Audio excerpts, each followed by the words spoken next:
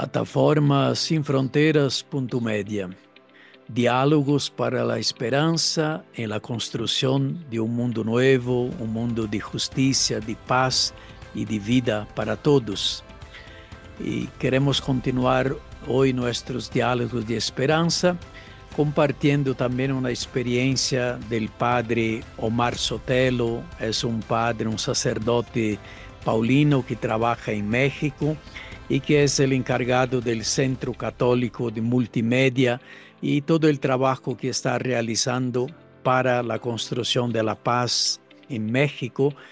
Y queremos compartir esta experiencia porque también aquí en Ecuador vivimos una situación también bastante complicada en el sentido de violencia, de amenazas, de vacunas y de tantas realidades que aquí sucede cada día. Entonces queremos conocer un poco también la experiencia que el padre Omar realiza a través de ese centro delante de la gravedad del conflicto que vive hoy eh, el Estado de México con también el asesinato del padre Marcelo Pérez el domingo pasado en, San Cristóbal eh, de Chiapas. Eh, y queremos entonces dar la bienvenida al padre Omar para que nos comparta un poco también toda la experiencia de trabajo con las víctimas y también el diálogo con tantos grupos ah, eh, que controla un poco todo el país para encontrar respuestas a toda esta violencia. Entonces, bienvenido Padre Omar para estar con nosotros compartiendo un poco todo el trabajo en la construcción de la, de la esperanza, de la paz y de la vida en medio de tantas situaciones de violencia. Bienvenido. Padre, muchas, muchas gracias. Este, te agradezco muchísimo esta gran oportunidad que, que me das de poder comunicarme con, contigo, con todo el auditorio allá en, Ecuador. Ciertamente eh, nos hermanan muchísimas cosas eh, en América Latina y pues principalmente y una pues lamentable es esta de la violencia, del crimen organizado, esta situación que pues lamentablemente nos está pegando de una, de una forma muy, muy tremenda en América Latina y obviamente pues en México, como tú ya lo, lo acabas de describir, pues sí tenemos una, una situación muy, muy específica, muy cruenta, que ha crecido año con año y que hoy, pues, este, como bien lo dices, el domingo pasado, después de celebrar la misa, el padre Marcelo Pérez, pues fue acribillado saliendo de la Eucaristía. Un hombre eh, defensor de los derechos indígenas, de los derechos humanos, un hombre que, una, un gran activista que pues había dejado, o más, más bien ha dejado una huella muy, muy, muy profunda, porque aunque físicamente acallaron su voz, ciertamente hoy su voz creo yo que va a resonar mucho más fuerte en, en, todos lados, ¿no? Entonces es una pena ciertamente el asesinato de una persona, de un sacerdote, pero el, el asesinato del padre Marcelo, pues también nos recuerda una larga lista, una larga y triste lista de sacerdotes que pues lamentablemente han fallecido pues en nuestro país, ¿no? Entonces, pues es una situación que, que estamos viviendo en México, padre, ¿cómo ves? Eh, ¿Usted podría describirnos así en, un poco rasgos, un poco cómo está la situación actual de violencia en el país? Bueno, eh, ciertamente en los últimos, en las últimas décadas, pues el, el, el crimen organizado pues ha tomado un, poder, una fuerza impresionante. Eh, se ha infiltrado en, muchísimos, en muchísimas instituciones. Tenemos ahorita eh, el caso de este, que, quien fuera secretario de Seguridad Pública Federal, García Luna, Genaro García Luna, que hoy fue condenado a 38 años en Estados Unidos y que en tiempo del presidente Felipe Calderón, pues era el que pues eh, aportaba pues la seguridad, el que estaba al frente de la seguridad a nivel federal de este gobierno y que pues eh, coludido con algunos de los cárteles del crimen organizado, eh, pues ahora está purgando ya una pena de 38, de 38 años. Y así hemos visto también un militar, un general, eh, en los tiempos también de Peña Nieto, el general Cienfuegos, quien fuese capturado en Estados Unidos y que después, pues por, por la intervención de el que fuera presidente Andrés Manuel López Obrador, pues eh, está, está en libertad, ¿no? Pero eso también no quiere decir que, que sea inocente. Esto, esto nos marca, pues, hasta dónde ha llegado el impacto del crimen organizado y cómo se ha infiltrado en instituciones de, de, alto nivel, en, en los gobiernos políticos, a nivel federal, a nivel estatal, a nivel regional, eh, eh, y también en el ejército también ha penetrado de una, de una manera impresionante. Y obvio, eh, los tentáculos del crimen organizado hoy, hoy en día, pues son más fuertes que nunca. Eh, tenemos pues eh, esta famosa guerra contra el narcotráfico que se inició con, con, Felipe Calderón, que pues eh, ha dejado ya en la actualidad pues más de 350 mil muertos, ¿no? Y tenemos casi 200 mil desaparecidos. Eh, esto es pues una, una guerra eh, literalmente, ¿no? Entonces, eh, hoy parecería que el crimen organizado no tiene, ¿verdad? Eh, alguien que pueda detenerlo precisamente porque ha alcanzado a infiltrarse pues en, grandes lugares, en niveles de alto nivel, tanto en la política, en el gobierno, en el ejército y en otras instituciones y parecería que no tiene, no tiene quien pueda detener una oleada tan salvaje. Y además de que, pues, el crimen organizado en México, pues también tiene características muy importantes y muy, muy peculiares. O sea, tenemos, al- por ejemplo, en Guerrero, Guerrero que es una zona de alto impacto del crimen organizado, diría eh, el obispo Salvador Rangel, quien fuese obispo de Chilpancingo, Chilapa, me acuerdo que lo, entrevistamos hace poco por un documental que hicimos y él decía, nosotros eh, trabajamos en tierra de narcotraficantes, decía de Guerrero. Y ciertamente, Guerrero prácticamente está copado por alrededor de unos 15 20 cárteles del crimen organizado, que se están peleando las plazas constantemente, ¿no? Que, que los ardillos, los rojos, los viagras y una gran cantidad de nombres que salen y surgen que se han levantado en todos lados. Y eso es en un estado de la República, ¿no? Eh, sin contar Michoacán, que también ahí tenemos este, cárteles muy poderosos como quien fuera, quienes fueran los templarios, quienes fueran los zetas, después la familia michoacana, ahora ya el cártel Jalisco Nueva Generación. Y, entre otros cárteles que también han surgido y que ahora son también poderosos, sin contar ya los cárteles este, ya de mucho tiempo, ¿verdad? Del cártel de Sinaloa, del cártel de Ciudad Juárez, en donde pues ge- gente emblemática como, como el Chapo, el Chapo Guzmán, este, el Güero Palma y otras personas que pues han tenido un influjo muy, muy importante ha- ha- han dejado en la actualidad, pues obviamente, una organización de crimen organizado que no solo es local, sino que también tiene eh, influencia a nivel internacional. Son, son cárteles que tienen ya un poderío internacional y que inclusive allá en Ecuador, eh, tengo Sí. entendido, el- este, las líneas de acción de muchos de los cárteles mexicanos también tienen un gran impacto en algunos países de América Latina, especialmente en Ecuador, en Colombia, no se diga, Panamá, y entonces este, son cárteles que ya tienen una influencia internacional como, como nunca se ha visto. Entonces, eh, obvio, son cárteles que precisamente por esta, este gran alcance también están supeditados o también están mm, eh, eh, subsidiados, por así decirlo, por, por, por organismos de otros países. Usted compartía un poco ¿no? la, la, la, el- la- cantidad de víctimas ¿no? de todas estas últimas décadas de- a causa de toda esta situación de violencia. Eh, ¿quiénes son un poco más estas víctimas? Porque hay enfrentamiento entre estas bandas criminales ¿no? que controlan todas las instancias del Estado pero ¿quién paga un poco las consecuencias de esto? ¿no? Porque todos estos asesinatos es de gente sencilla, de gente que no está involucrada en el, en los, en estos cárteles. Sí, ciertamente eh, las víctimas han sido de diferentes estratos, pero quien más, quien más ha sufrido es la gente joven. porque los cárteles eh, reclutan muchachos, reclutan jóvenes que desde muy pequeños, inclusive algunos muy, muy casi niños, los empiezan a reclutar como halcones para, para empezarlos a adiestrar en este, en esta, en esta atmósfera.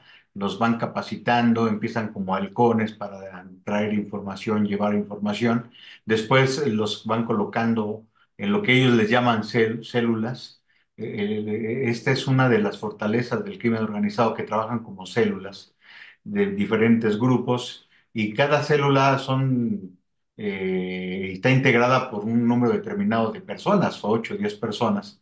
Y conforme, conforme las células, eh, de acuerdo a ellos, va- van caminando y los que van sobreviviendo en cada ataque, se van integrando otras células y entonces eh, la gente va, va, va subiendo de categoría, por decirlo de esta forma, quienes vayan sobreviviendo a las diferentes células por los trabajos que hacen, pues entonces este, van subiendo de categoría, ¿no? Y se vuelven pues gente ya muy capacitada y muy adiestrada. Una de las cosas que a mí me ha sorprendido es que la capacitación a, hombres y mujeres en diferentes eh, car- carteles de- del crimen organizado es que son dadas por, organismos internacionales, Corea del Norte, pakistaníes, israelitas, turcos y demás, ¿no? O sea, eh, son, están capacitados en, el manejo de armas, de explosivos. Es una situación verdaderamente impresionante cómo los organismos del crimen organizado han llegado a profesionalizar, pues, este, sus, sus estrategias eh, y la capacitación de, sus, de- de su gente. Pero como les digo, todo esto pues obviamente trae costos muy elevados porque principalmente son los jóvenes los que reclutados en los diferentes pueblos por carencia, muchos de ellos de trabajo, de oportunidades, pues solamente son reclutados eh, a los cárteles. Segundo, los migrantes, migrantes que vienen de diferentes países, de El Salvador, de Guatemala, de Honduras, de Ecuador, de Centroamérica y de Sudamérica, que pues como pasan por, por México para llegar a Estados Unidos, muchos de ellos son interceptados por cárteles del crimen organizado, reclutados también a sus filas y también ellos pues obviamente utilizados como carne de cañón, mm, valga la expresión, no sé si se, se entienda esta expresión, utilizados pues, pues para, para, para eh, las tareas que muchas veces les dan para el trajeo, porque los utilizan como mulas o los utilizan para otro tipo de, de actividades de- de- que el crimen organizado pues los, los tiene, ¿no? Entonces, los migrantes también, la gente migrante, es la que también está sufriendo muchísimo, muchísimo este, eh, eh, el golpeteo de- del crimen organizado y que hemos visto, por, por desgracia, muchos hermanos migrantes que pues ha- han muerto eh, ya llegando casi a Estados Unidos eh, en, grandes masacres, ¿no? Entonces también están. Y la, y la población en general, ¿no? De los diferentes estados, principalmente, como decíamos, de Guerrero, eh, de, Tamaulipas, de Michoacán, de Veracruz, eh, grandes eh, eh, pueblos, inclusive, que, inclu- ya han quedado hasta, hasta vacíos, porque muchos de ellos, precisamente porque el crimen organizado prácticamente se ha adueñado de territorios en en diferentes estados, pues muchos lugares, este, la gente ha decidido dejar, abandonar sus, sus localidades y irse a otro lado, porque como el crimen organizado muchas veces pide el derecho de piso, ¿verdad? Para poder ellos trabajar, porque han generado ya una narcoeconomía, ajá, y esto es importantísimo, o sea, eh, estuve, estuve hace poco tiempo en, en un poblado de Guerrero, en Chilpancingo, Chilapa, que estuve dando unos cursos por allá, y me, me, me platicaban algunos sacerdotes eh, que, por ejemplo, hay, hay diferentes cárteles que dicen, no, pues tienes que pagar pues prácticamente, eh, yo te voy a vender a ti el pollo, el huevo, la leche y esto, pero me lo compras a mí. O sea, ellos, ellos buscan la forma de adueñarse pues de los productos y ellos hacen una especie de reventa, ¿no? con sus precios, con sus normas y con sus formas de ser. Y si no me lo compras a mí, este, si se lo compras a otro, entonces atente a las consecuencias. Entonces prácticamente están dominando el mercado de, de, los productos de, de, una canasta básica en diferentes estados o en diferentes poblaciones o rancherías de, aquellas localidades, ¿no? Entonces generan su narcoeconomía. Obviamente también generan una narcopolítica porque estas elecciones pasadas pudimos eh, con tristeza constatar que muchísimos hombres y mujeres que que se lanzaban a puestos de elección popular, pues muchos de ellos fueron asesinados, ¿verdad? Porque pues a lo mejor no compartían los ideales que los que, miembros del crimen organizado pues tenían, y entonces como esta persona no era compatible conmigo, pues entonces este, te desaparezco. Hace poco en Chilpancingo, hace aproximadamente un mes o menos, el que fue el alcalde de la ciudad de Chilpancingo, un joven de 43 años, que tenía seis días en el puesto, fue asesinado de una manera brutal, ¿no? Este, lo exhibieron de una manera brutal. Eh, joven con su familia, con sus hijos, lo asesinan, este, voy a decirlo de esta forma porque es una forma tremenda, eh, lo exhiben, este, su cabeza la ponen arriba de un toldo de una, de una camioneta y su cuerpo al interior, lanzando un mensaje pues de una, de una contundencia, ¿no? O sea, aquí mandamos nosotros. Y otro de los aspectos, y es ahí también donde tenemos que llegar, es que otro de los, de los sectores que ha sido muy golpeado, obviamente, es la iglesia. La iglesia católica en México eh, también ha sido golpeada de una manera determinante por, por el crimen organizado. México es por más de, por cerca de 15 años, podemos decirlo, quizá uno de los países más peligrosos para ejercer el sacerdocio. Eh, en los últimos, en los últimos 12 años, pues cerca de 50 sacerdotes han sido asesinados. O sea, eso ya es una, una situación muy, muy complicada, ¿no? Eh, en, el, periodo de, de Enrique, de, de, Felipe Calderón, 18 sacerdotes fueron asesinados, en el periodo de Enrique Peña Nieto fueron 26, y en el eh, periodo que acaba de terminar de Andrés Manuel López Obrador, 10 sacerdotes fueron asesinados, pero eh, también 10 sacerdotes fueron eh, golpeados, hostigados, algunos de ellos, este, inclusive, el caso de un sacerdote de una región que se llama Puebla, fue prácticamente levantado, torturado, y se lo llevaron y lo ejecutaron. Así de estas lo ejecutaron. Le dieron cinco balazos al padre. El padre afortunadamente vive. El padre vivió. Obviamente quedó con grandes secuelas, pero quedó vivo. Entonces, eh, la situación es, es, es, muy fuerte. También en, este, en estos últimos seis años del gobierno de Andrés Manuel López Obrador, siete obispos, siete obispos, nunca antes, ¿eh? Nunca antes. Ciertamente tuvimos el asesinato del cardenal, ¿verdad? Hace 27 años, del cardenal Juan Jesús Posados Ocampo, sí. un, un, un, acontecimiento muy fuerte que hasta la, hasta la fecha no, no está aclarado pero hoy en este sexenio fueron siete obispos, entre ellos el cardenal de Guadalajara, Francisco Robles, que fueron retenidos por, por eh, retenes comandados por el crimen organizado, algunos asaltados, algunos violentados, incluso eh, el obispo de Durango, eh, Faustino Armendaris, literalmente recibió un atentado, una persona en plena misa se le abalanzó y, literalmente lo apuñaló. La casulla de, de, del obispo lo salvó literalmente de, ser apuñalado, ¿no? Este, en plena, eso en plena misa.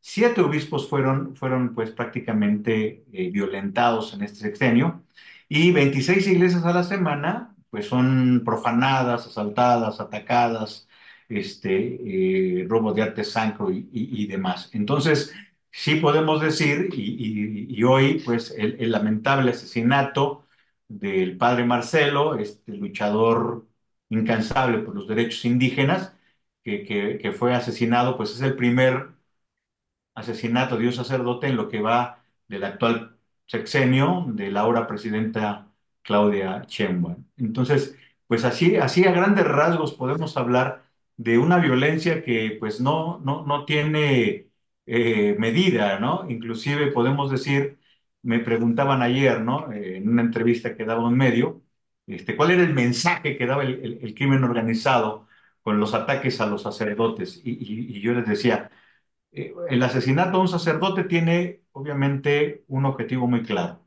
Uno es decirnos, si mato a un sacerdote puedo matar a quien sea, ¿eh? O sea que aquí no hay nada ni nadie que nos pueda detener y lo están, lo están diciendo. Segundo, el asesinato de un sacerdote eh, no es solamente asesinar a una persona. El asesinato de, de un sacerdote va mucho más allá y las implicaciones son más serias. ¿Por qué? Porque un sacerdote es un estabilizador social. Sí, ¿sí? La parroquia es una estabilizadora social porque en la parroquia no solo se presta un servicio espiritual, hay un servicio también que presta ayuda a los derechos humanos, a los derechos indígenas, un da, da servicios de salud, de educación, servicios en diferentes sectores eh, a, a- a las comunidades locales, indígenas y demás. Esto representa para mucho, para el crimen organizado, un foco que puede ser como una especie de, de competencia que no le conviene porque precisamente es un estabilizador. Y nosotros en los análisis que, que hemos hecho, eh, cuando se extermina pues o se aniquila este, este factor estabilizador como un sacerdote, eliminamos pues a la parroquia como la estabilizadora social, el crimen organizado inocula en aquella región la cultura de la muerte la cultura del silencio, esto es importantísimo. El, crimen organizado tiene como, como gran propósito mantener a la población callada. Y una población callada, temerosa, pues obviamente está amordazada y no puede hacer nada. Y entonces ellos pues pueden moverse con una gran impunidad sembrando pues una narcocultura, una narcoeconomía, una narcopolítica. Entonces, eh, obvio que, que el sacerdote, la iglesia, pues tienen una importancia vital en la sociedad y que eh, sí, tenemos que ver que muchos de los asesinatos que se han dado contra sacerdotes, pues tienen claramente este, este objetivo. Pues a, a grandes rasgos, este, podemos hablar de esta situación que es muy fuerte y en la que muchos estados de la República Mexicana están, están viviendo. Obvio, México, no, no todo México está viviendo una situación así, hay que ser muy claros también en eso, pero sí hay focos muy bien detectables donde el crimen organizado pues se está haciendo y se, y se, y se está fortaleciendo día con día. Ad- Además de, de la persecución a la iglesia, también hay un- una, una larga lista de, de periodistas que han sido asesinados también en, estos años. A causa de, también de las de hablar de la denuncia que hacen contra todo el crimen organizado. Eh, con, con el cambio de gobierno, bueno, un cambio, una continuación, eh, con la nueva presidente, ¿usted ve alguna posibilidad de, de una intervención del, del Estado para cambiar un poco esta situación o hay también una indiferencia por parte de la nueva presidente? Eh, yo creo que ciertamente eh, la, nueva encargada, encargada de la presidencia eh, tiene una gran responsabilidad, histórica inclusive, siendo para México la primera mujer presidente en la historia de nuestra nación, pues tiene la oportunidad, obvio, de, de de- de generar una presidencia con sus características propias, ¿no? tiene la gran oportunidad, obviamente, de darle un vuelco a la historia de un México que no merece lo que está viviendo, de un México que, que se está desangrando, de un México en el cual, como ya lo hemos platicado, eh, las situaciones este, de violencia, de inseguridad, de, de gran, de falta de oportunidades, pues están marcando. Eh, obvio, ellos, eh, el gobierno federal, a, a lo largo de estos últimos años está manifestando eh, como ellos dicen, ¿no? Y como diría Andrés Manuel, yo tengo otros datos, ¿no? Sí, la economía posiblemente tiene, es la quinceava economía a nivel internacional. La economía ciertamente no es, este, no, no, no, no, no es quizá lo más bollante posible, pero tampoco es una economía que, que se ha, que que destruido o que ha, o que ha, tenido grandes bajas. Sin embargo, este, la situación de violencia está, está tratando o está pidiendo a gritos a la nueva presidencia estas características. Uno, que se desprenda pues de una situación que en el primer sexenio de Andrés Manuel López Obrador durante mucho tiempo pues parecería que dejó en la impunidad muchísimas situaciones y hasta parecería que inclusive este como que eh, platicó, se coludió o, o pasó por alto las acciones del crimen organizado. Eh, ahora la presidenta tiene esta gran oportunidad de trabajar, de, de- de- de manifestar una presidencia propia, única, por lo histórico de lo que significa la primera presidenta de México. Viene de un partido con una gran tradición, con una tradición que, que pues por mucho tiempo gestada por este hombre Andrés Manuel López Obrador, pues con el populismo que, que generó, con el populismo que los llevó al poder, este, hoy están pues prácticamente envueltos bajo estas, estos pétalos del populismo, ¿no? Porque ciertamente Claudia ganó con un porcentaje avasallador. No podemos negar esa realidad. No podemos negar esa realidad.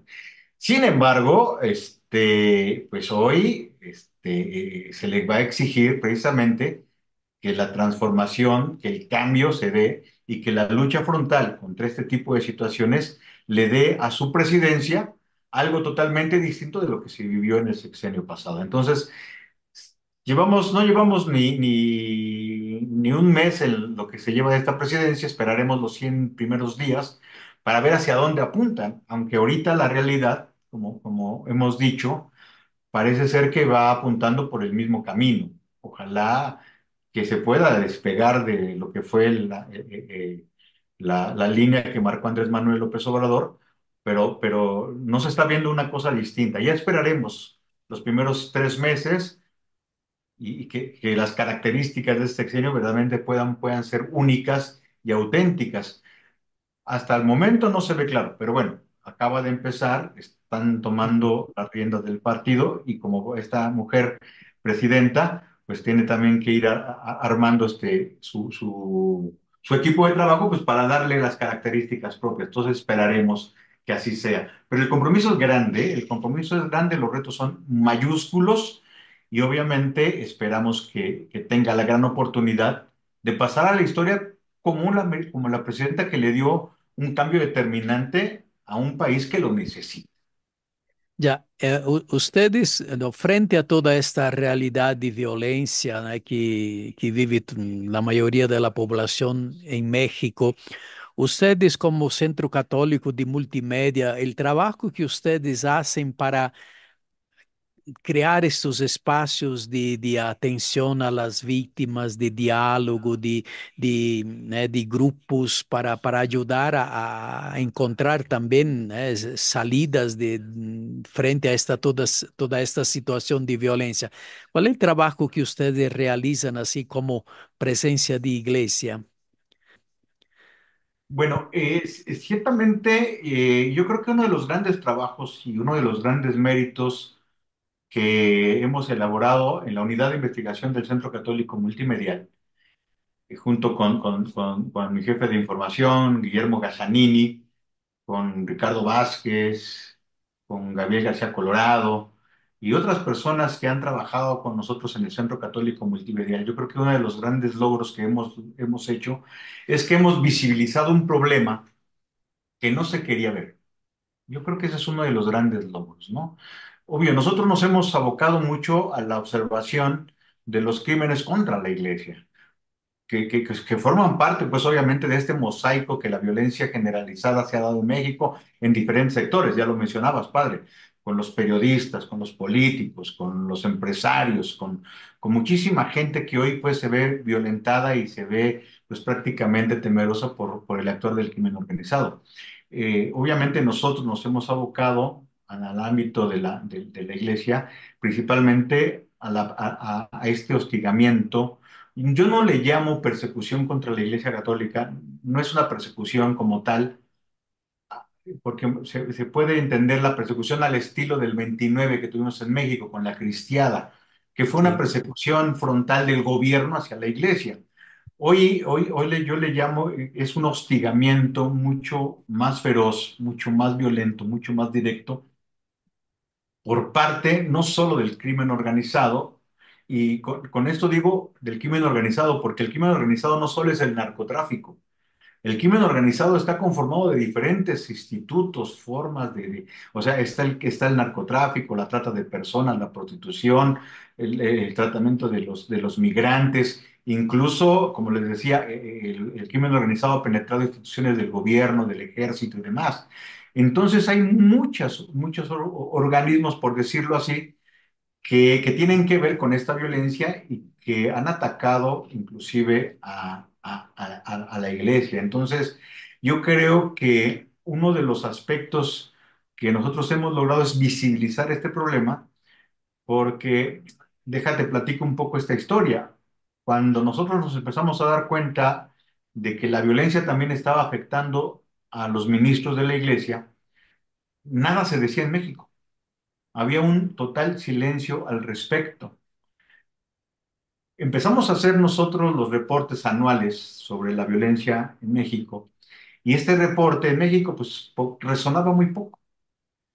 Solo en Inglaterra, que se retoma un, uno de nuestros reportes, un organismo ecuménico allá en Inglaterra retoma este, este, estos reportes y este, este organismo tiene una filial en Washington y es retomado por un congresista que se llamaba Jeff Duncan en los tiempos de Barack Obama, y él habla en el Congreso sobre, la, sobre esta situación que estaba pasando en México.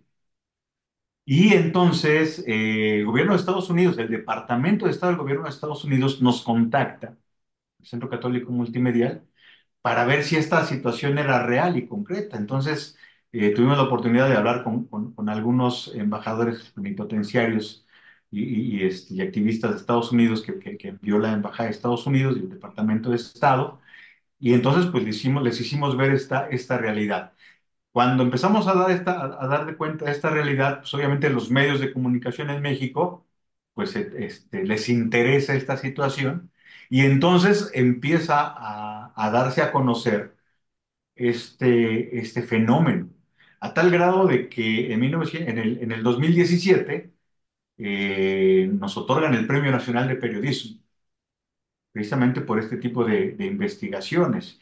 Y es ahí en donde entonces nos damos cuenta, más bien la opinión pública voltea a ver una realidad que ahí estaba presente, pero que no le estábamos haciendo caso, ¿no? Entonces, creo que ese ha sido uno de los grandes logros que nosotros como, como, como, como periodistas, como centro de investigación, hemos dado a la sociedad, visibilizar un, polo, un problema que pues hoy pues no, no, no se ha detenido y que lamentablemente sigue dejando víctimas y que también obviamente ya somos una voz importante pues para, para reclamar, para lanzarle a la autoridad de que esta situación está clamando justicia y que necesitamos que las autoridades, en muchos casos incompetentes, pues verdaderamente se ponga a trabajar y a, y a, resolver una situación que nos está pegando en, en muchos lados, ¿no? Y, y, segundo, obviamente también este, ser la voz de mucha gente que, que, hablando con muchos sacerdotes, con muchos compañeros, que están sufriendo amenazas. Este, hemos contabilizado más de 800 amenazas y extorsiones a sacerdotes en la República Mexicana, y muchos de ellos, pues obviamente no tienen más medios más que lo que nosotros podemos hacer para lanzarlo a la opinión pública. Entonces, esto yo creo que es el punto focal de lo que hemos realizado en, en, en el Centro Católico, junto con otras actividades. Eh, para tu auditorio, ojalá que después lo puedan poner, este, no sé si tú lo has podido ver, eh, hicimos un documental que se llama Tragedia y Crisol del Sacerdocio en México. ¿Sí? Los, los, invitamos a todo tu auditorio, a ti, padre. Está en YouTube, está libre para que lo puedan ver, ¿verdad? Este, Mm. este es un documental que nosotros hemos lanzado precisamente eh, para dar cuenta de la situación pues, que está pasando en nuestro país. Sí, muy interesante toda esta lucha. Sí, claro que ustedes suman todo esto con tantas otras organizaciones también, ¿eh? Eh, ¿hay así un, un, un apoyo por parte de toda la iglesia o frente a esta situación de violencia o hay también eh, un poco como en, todo, en todas partes un poco de, de, de, de, miedo de, de no hablar, de no, né, de no denunciar toda esta situación? En un principio sí podríamos decir que incluso nos decían, no, ahora sí que no, no, no hablemos tanto, que no saquemos de más información. Hubo, hubo, hubo incluso quien nos llamó que éramos amarillistas, ¿no? Con la información que teníamos, este, se nos, se nos, se nos pedía cierto silencio, este, hay que ser muy prudentes y demás cosas por el estilo. Pero cuando te das cuenta que la situación ya no es, ya no pide eh, callarse, sino que, que hay que hablarlo, lo hemos hecho, a tal grado de que ya eh, los últimos administradores en la conferencia del episcopado mexicano, precisamente cuando nosotros sacamos este documental de tragedia y crisol del sacerdocio en México, tuvimos la gran oportunidad de presentar este documento en, en el Congreso de la Unión de México. Lo presentamos y yo creo que fue un acontecimiento inédito. Lo presentamos en abril del 2017, 18, por ahí así.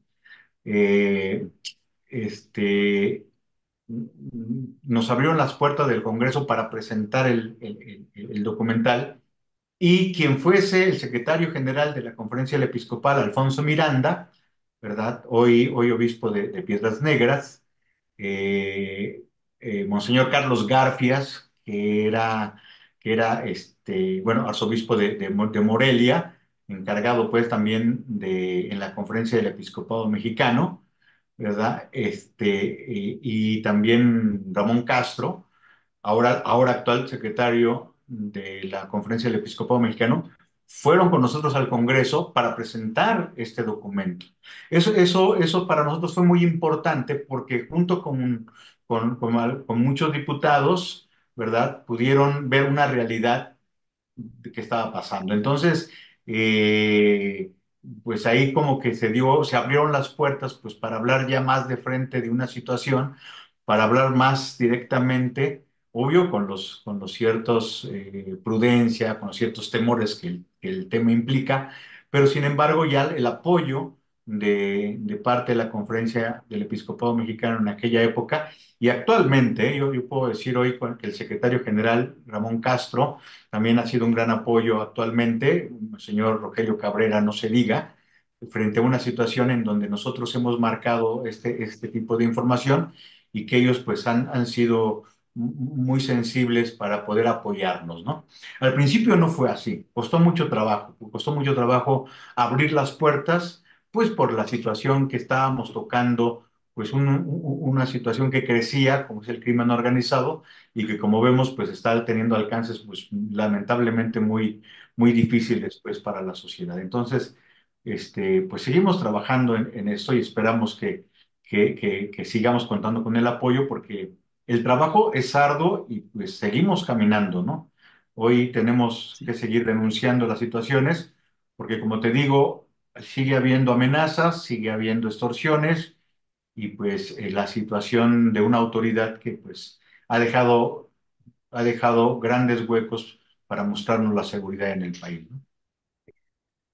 Sí, muy interesante todo, toda esta realidad que como usted comparte también, no es solo en México, también aquí en Ecuador, ¿no? Eh, ah, es bastante complicada la situación y en otros países de Latinoamérica, ¿no? Eh, para ir concluyendo un poco nuestros diálogos eh, para construir la paz, eh, la justicia y la fraternidad en el mundo, para que todos tengan vida y vida en abundancia. Para concluir así unas palabras de esperanza a nuestro pueblo ecuatoriano, latinoamericano, mexicano, eh, cómo, cómo, fortalecerse en esta mística de, la violencia no activa para dar pasos eh, frente a todas esas amenazas.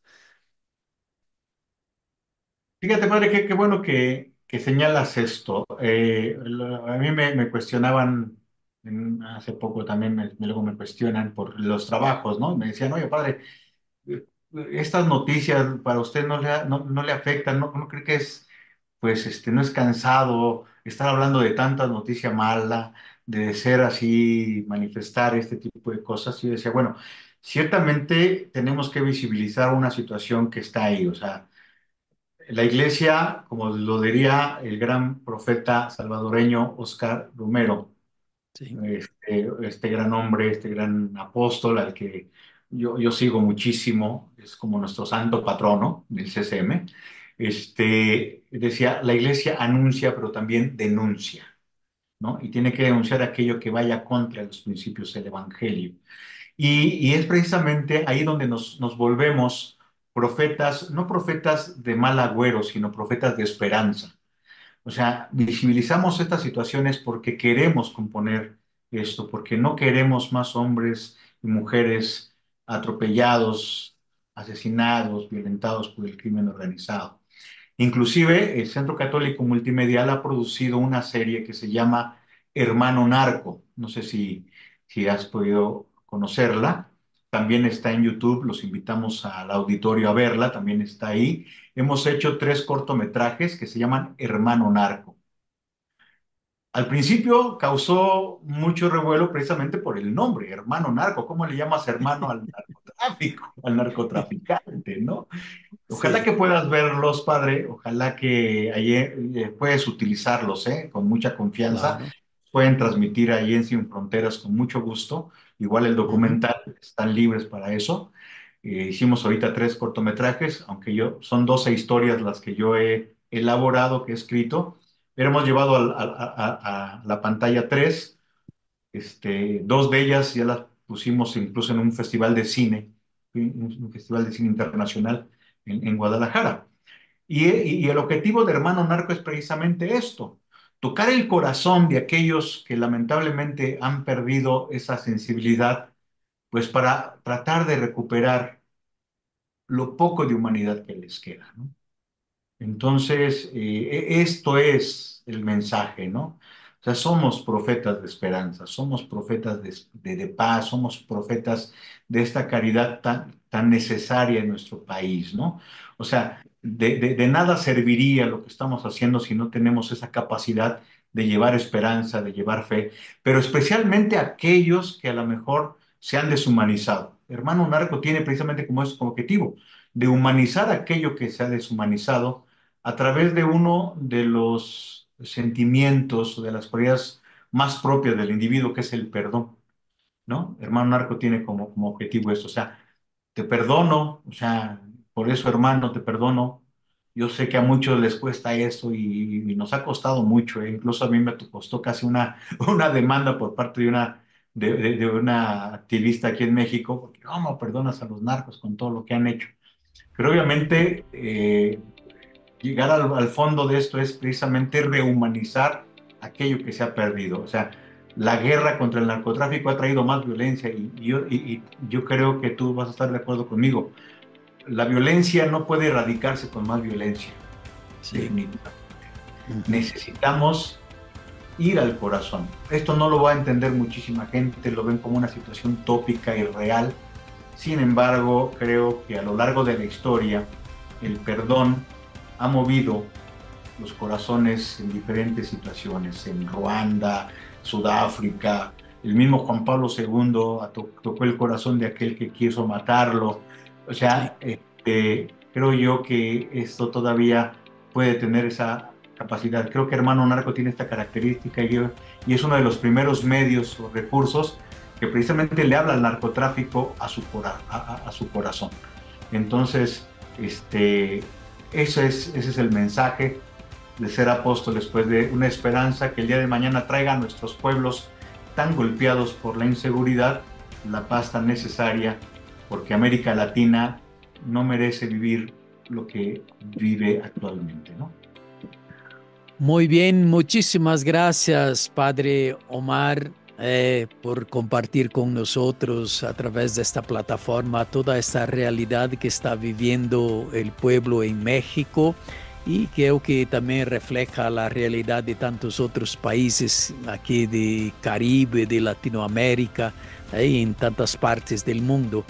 Y creo que sí, es toda una motivación para que sumando fuerzas podamos también eh, hacer frente a todas esas amenazas de tantos grupos criminales organizados que tienen el control en muchos lugares en el mundo. Muchísimas gracias por, por compartir con nosotros, dándonos a conocer también el trabajo que ustedes están realizando como Centro Católico Multimedial eh, para ayudar a crear esta conciencia de la lucha, de la participación, para que eh, la violencia no se, se, se, establezca como modelo y como eh, modo de vivir hoy en nuestro mundo.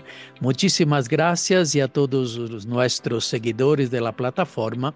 También creo que eh, conociendo también esta realidad podamos sumar fuerzas para juntos construir esta nueva sociedad, este nuevo mundo. Muchísimas gracias, Padre Omar. Padre Alcides, te lo agradezco mucho. Una bendición de parte acá de la, de la Virgencita de Guadalupe. Muy bien. Gracias a todos nuestros seguidores. También gracias por acompañarnos en nuestras redes sociales.